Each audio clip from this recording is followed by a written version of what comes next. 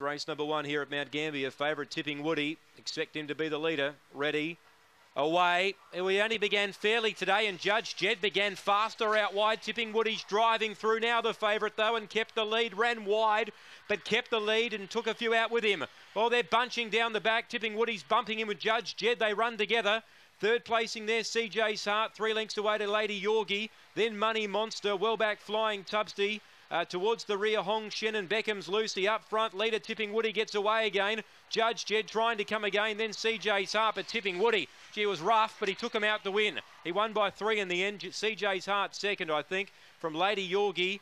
Judge Jed behind those Beckham Lucy's. Then flying Stubbsy, Money Monster and Hong Shen towards the rear. It was rough in the first, but tipping Woody ends up winning. Tipping Woody. Tipping Woody Number number uh, two here, too good.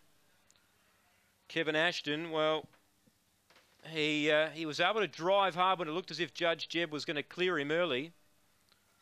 But he ran wide on that first corner and, and seemed to take Judge Jed out with him. And CJ's heart was interfered with as well. And then down the back, he was looking like he was going to run to the lead again, and he's bumped again with the seven and the eight. And eventually he's pulled clear to win, but it's been a handy win in the end. Number eight, second, CJ's Heart.